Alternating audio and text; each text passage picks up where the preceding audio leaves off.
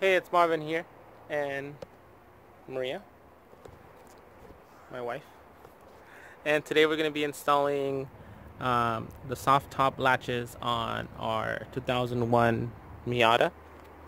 And the reason why we're installing the latches is because we're having a problem with air getting uh, inside and creating like a really loud noise. So here as you can see it's like perfectly uh, like flush.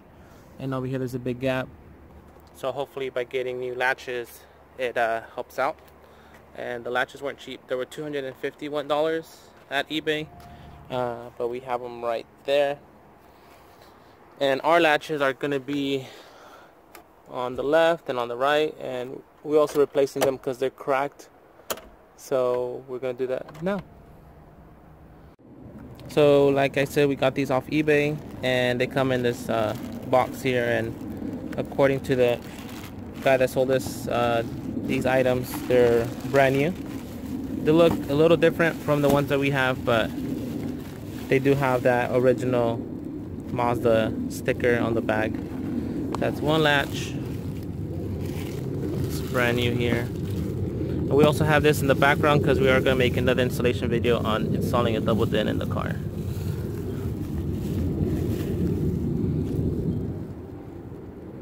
So that's the other one. That's two latches and it's going to be a simple setup.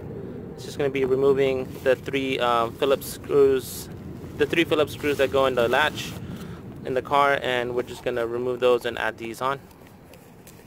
So we're going to be removing these three screws here so it should be super fast. Nothing too crazy. And I'll be showing you the differences and the latches and how they're designed differently. Well at least I I think they're designed differently but here's one. There's another one there. Here's another one here.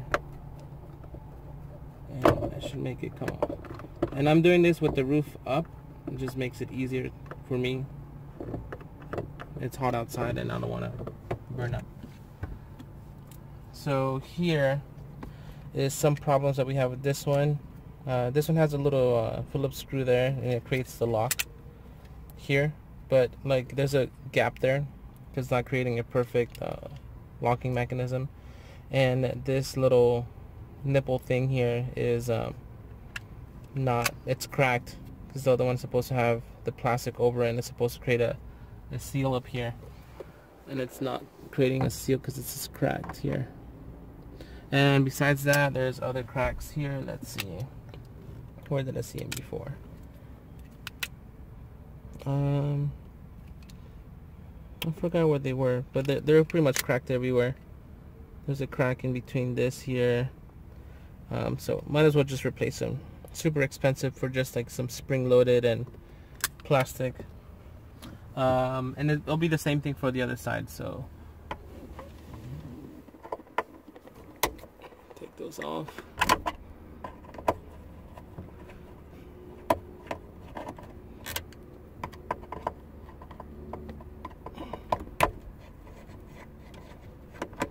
Nothing too hard here guys so. And here's the third one here.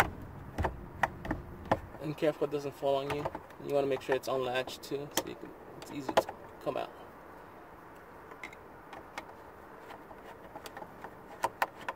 There you go. So these are the old latches, these are the new latches, so um, as I was saying here, like these just come out so they don't lock.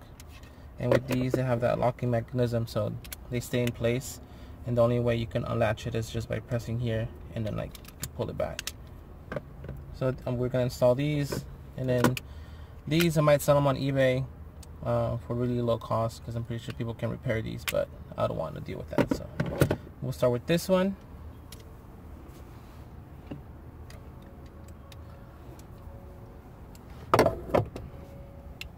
We're gonna unlatch it.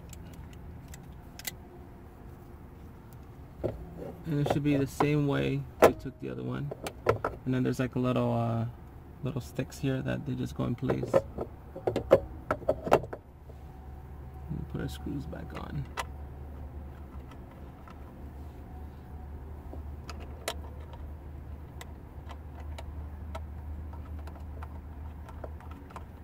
And make sure you're putting your screws on correctly. You don't want to cross thread these because then you'll pretty much be fixing a uh, cross thread or you're replacing the latch. Not the latch, the soft top.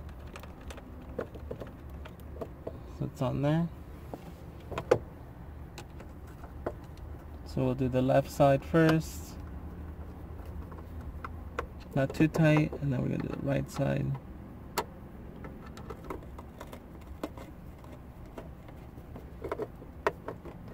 Not too tight yet, and then we'll do the top one.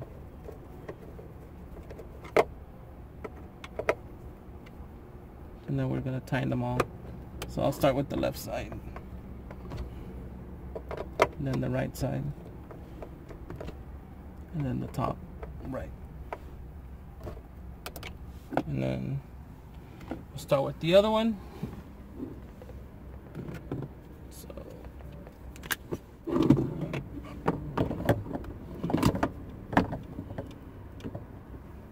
Oh, upside down. Oops.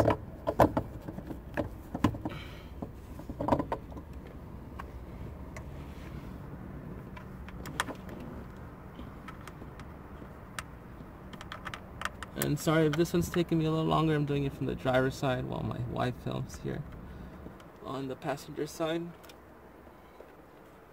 So we're both angled all weird.